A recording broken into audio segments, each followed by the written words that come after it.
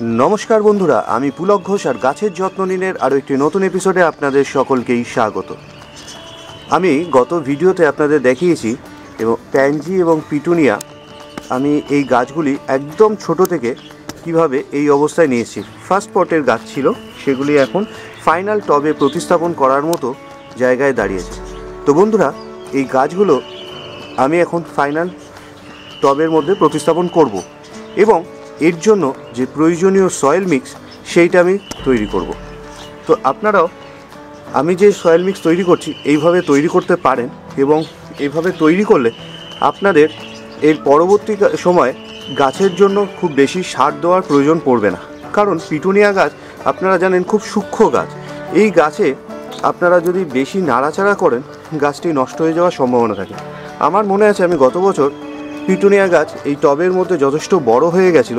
আমি গাছগুলিকে পাতা সরিয়ে ভেতরে জল দেওয়ার চেষ্টা করছিলাম, কারণ এই গাছের কাণ্ডে যদি জল লাগে, সেক্ষেত্রে গাছটি নষ্ট হয়ে যাওয়ার সম্ভাবনা থাকে। তো আমি যখন এই গাছের পাতাগুলি সরিয়ে ভেতরে জল দেওয়ার চেষ্টা করছিলাম, তখন এই গাছগুলি একটা দুটো গাছ আমার নষ্ট হয়ে যায়। তো বন্ধু, আমি ওই জন্য এই বছর একটু অন্যরকমভাবেই চিন্তাভাবনা করেছি এই গাছে জল দেওয়ার ব্যাপারে। তো এখন আপনাদের দেখাবো যে আমি এই গাছের জন্য কীরকম সয়েল মিক্স তৈরি করছি।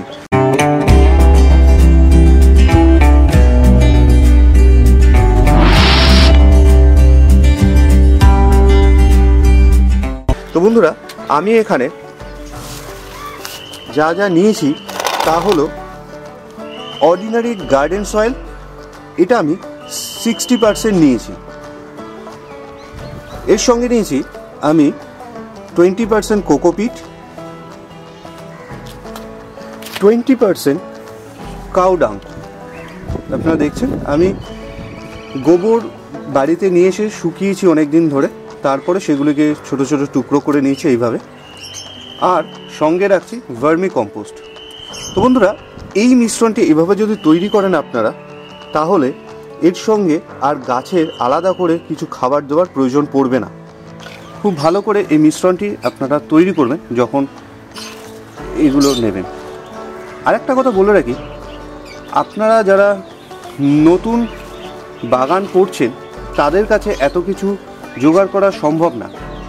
তো তাদের জন্য আমি বলি, আপনারা ঘাবড়াবেন না, আপনারা একদম বাগান থেকে যে মাটি, সাধারণ মাটি, একটু ওয়েল ড্রেন সয়েল নিন এবং সেটাকে ভালো করে চেলে নিন, যাতে তার মধ্যে বড় কোনো কাঁকড় না থাকে।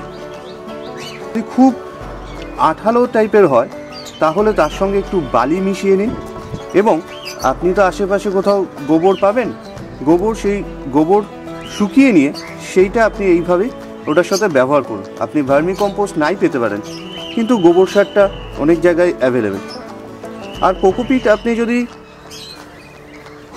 না পান, বাড়িতে যদি ছোবড়া থাকে, সেখান থেকে, সেই ছোবড়া থেকে আস্তে আস্তে ছাড়িয়ে কোকোপিট একটু তৈরি করে নিন। নাও যদি দিতে পারেন, কোনো অসুবিধা নেই। সাধারণ মাটিতেই আপনার গাছ খুব খারাপ হবে না, ভালোই হবে। আপনি শুধু এই গাছের জন্য জল দেওয়ার ব্যাপারটি মাথায় রাখবেন, ঠিকঠাকভাবে দেবেন। কারণ আপনি যদি এই গাছে অতিরিক্ত জল দেন, সেক্ষেত্রে গাছটি নষ্ট হয়ে যাওয়ার প্রচণ্ডভাবে সম্ভাবনা তৈরি হয়। তৎকালের বেশিরভাগ গাছই খুব রোদ পছন্দ করে। তো এই গাছটিকে আপনার রোদেই রাখ, রাখতে হবে এবং আপনার এই ডিসেম্বরের শেষ থেকে এবং জানুয়ারি মাসে এখনই ফুল দেওয়া শুরু হয়ে গেছে।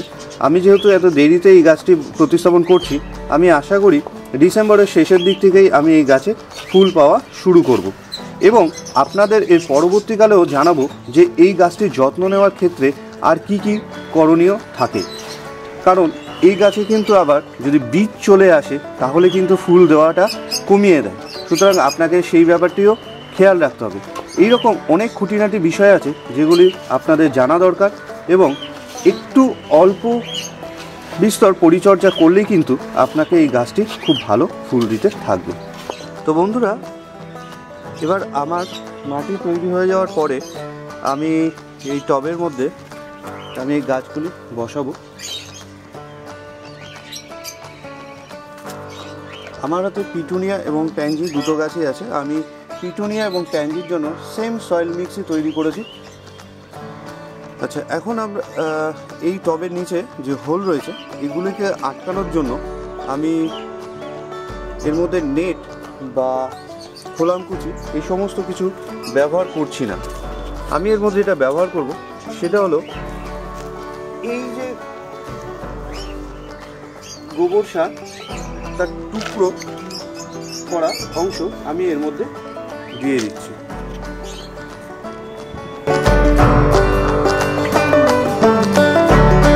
আমি এই টব দুটি মাটি দিয়ে ভরে ফেলেছি। এবার আমি এই পিটুনিয়া গাছগুলি এখান থেকে তুলে নিয়ে আমি এর মধ্যে বসাবো। তো তার আগে আমাকে মাথায় রাখতে হবে যে আমি এর গোড়ায় যে পুরনো মাটি আছে, সেগুলি যাতে খুব একটা নষ্ট না হয় এবং খুব সাবধানে আমাকে এগুলি তুলে পার করতে হবে। অর্থাৎ এই শিকড়গুলি, পুরনো শিকড় না ছেড়ে, আমি যেভাবে এই সয়েল মিক্স তৈরি করেছি, তাতে আপনারা দেখতে পাচ্ছেন খুব আলগা হয়েই রয়েছে এবং গাছগুলি তুলতে আশা করি কোনো অসুবিধা হবে না। আপনারা যদি এই পিটুনিয়া গাছের প্রথমের ভিডিওটি মানে ফার্স্ট পট থেকে যেই অবস্থায় নিয়ে আসা অবধি যেভাবে আমি তৈরি করেছি, সেটা যদি না দেখে থাকেন, আপনারা অবশ্যই আমার ডিসক্রিপশন বক্সের লিঙ্ক অথবা এই ভিডিও শেষে তার লিঙ্ক দেওয়া থাকবে, সেটা কিন্তু অবশ্যই দেখুন।